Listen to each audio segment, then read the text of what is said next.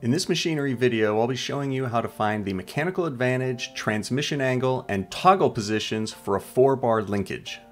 There's a lot of hard topics in mechanisms courses, but this doesn't have to be one of them. So let's just knock it out and you can move on with your day and think to yourself, yeah, I learned something today.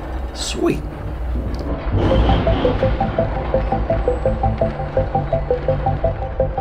For a 4-bar linkage, and in this case my example is a crank rocker, the transmission angle gamma is the interior angle between the coupler and the rocker. Now this angle will change. As the crank pushes outward towards the more extended position, transmission angle is going to get smaller. Then as the crank starts pulling the rocker back, it will increase to a maximum and then begin to get smaller again. The reason transmission angle is important is because of this force F. The coupler is a two-force member, meaning it can only push or pull in the direction connecting its endpoints. In order to achieve the maximum moment at point D, the transmission angle should be 90 degrees, with force pointing perpendicular to the direction of the rocker. With the force pointed the direction is showing now, a lot of that force is wasted driving the rocker into ground at D. Whereas if it were pointing perpendicular to the rocker, it would be all driving it sideways trying to make it rotate. So when we get later to mechanical advantage, you'll see that this quantity F sine gamma is going to be an important term because that's how much of that force is directed in that perpendicular direction. If we know the lengths of all four pieces and we have a given crank angle theta, then you can solve for transmission angle in just two steps by dividing your shape into these two triangles and solving for that diagonal piece that I've labeled LBD. And both steps are just going to be a law of cosines.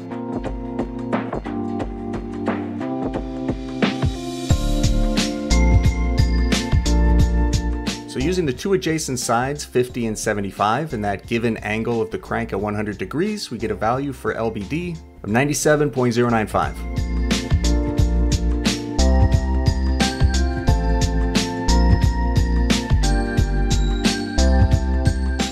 One more law of cosines for this red triangle and I get an answer of 38.9 degrees. And if I zoom in on this Fusion 360 drawing, you can see that it was assembled at 39 degrees, rounded to the nearest degree. Two steps of law of cosines is pretty easy for this class, but sometimes transmission angle is even easier to calculate. A toggle position is one of the extreme positions either furthest to the left or furthest to the right that the rocker can be. If I start the crank from zero and start rotating clockwise, you can see that the rocker reaches its maximum position right there when the crank and the coupler are directly aligned with each other. Then as the crank continues, the rocker swings around to the left, and it's going to keep going left until the crank and the coupler are perfectly aligned again, and this is the second toggle position. As the crank continues to rotate, now the direction switches and it starts moving back to the right, again until the next toggle. So this is an example of a quick return 4-bar linkage because the push and the pull are at different angles.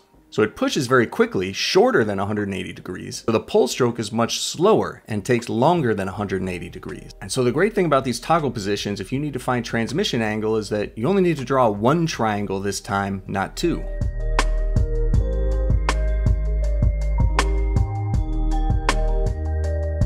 Transmission angle is opposite the ground length and then adjacent to one length of 140 for the rocker and the other adjacent length is the 50 plus 150, so a total of 200 for the crank plus coupler combined. Repeating the same process with the other toggle position, the ground length of 75 is still the same, rocker length 140 is still the same, but the other adjacent length is going to be the coupler length minus the crank. So it's hidden on this drawing, but the crank is actually underneath the coupler in this shown pink position. And so before switching to mechanical advantage, I want to spend a moment to talk about what is a good transmission angle. We said at the beginning, you want a transmission angle as close to 90 degrees as possible so that the force exerted by the coupler is pointing perpendicular to the rocker direction to cause as much rotation as possible. In general, you want to design your system so that your transmission angles are going to be greater than 45 degrees, greater than 60 degrees if you can. And so in this extended position with this 14 degree angle, if there's friction in the system or some other weight or force that has to be overcome, there's a good possibility that this system may actually bind and that the motor controlling the crank may have trouble actually shifting from the push to the pull position because of this very small transmission angle.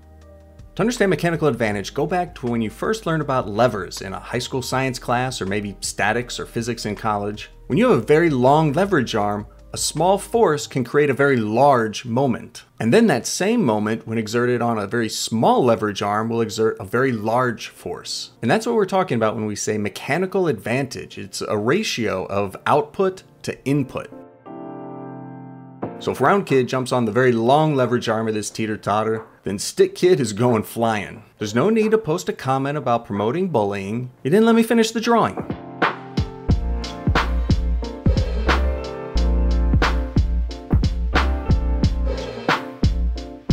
See, Stick Kid did a sweet belly flop into the lake, and all of his friends cheered. Alright, back to work. Mechanical advantage for a 4-bar linkage is going to be exactly opposite that lever problem. In the round kid and stick kid example, we started with a force, and then found a common moment, and then got an output force. And so in that case, it was better to start with a really long lever and end with a very short lever. For 4-bar linkage, it's going to be opposite, because what's supplied to the 4-bar linkage is going to be the torque from the motor. And since torque is equal to force times distance, if torque is our input, we want the smallest distance on the crank will result in the largest possible force. Now, of course, this expression doesn't account for the angle of the coupler piece. And that force that's directed in the direction of the coupler is going to be the perpendicular force divided by sine of theta.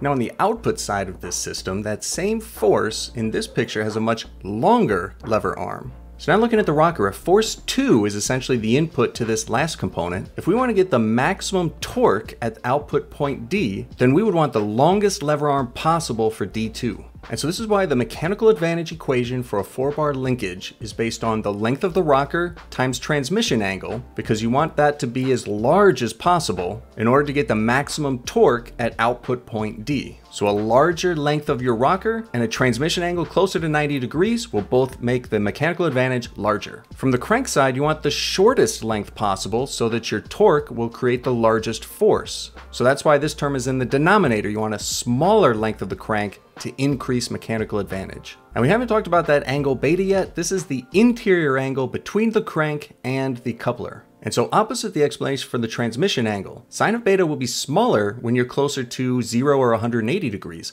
and a smaller value in the denominator will increase the mechanical advantage. To look at an extreme example of this, consider the toggle position where angle beta is 180 degrees. At this moment in time, the velocity of that joint is always going to be perpendicular to the direction of the crank. And in this particular position, it's also perpendicular to point C. But at this exact moment, this is the moment where the rocker is switching from being pushed to being pulled, so you can actually swing point B by 5 or 10 degrees. At point C will hardly move at all. So essentially you get motion on the input and no motion on the output. And this is going to result in mechanical advantage of infinity. Sine of 180 degrees is zero. When you divide by zero, your mechanical advantage becomes infinity. And so this is another way to think of mechanical advantage, besides just being about leverage and how much torque you're able to get out of the output based on your input. In that way, it's sort of similar to gear ratios, where when you really gear down and go from a high speed gear to a low speed gear, you increase torque, and that provides a mechanical advantage. And that's kind of what's happening here. We've essentially geared down so much that the output isn't even moving at all, and that's the infinite mechanical advantage.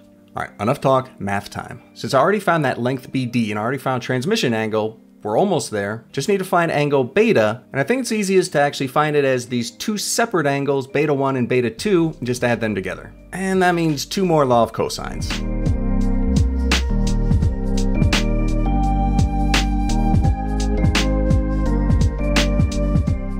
Using each of the two visible triangles in this drawing, you get an angle of about 49 degrees and an angle of about 64 degrees.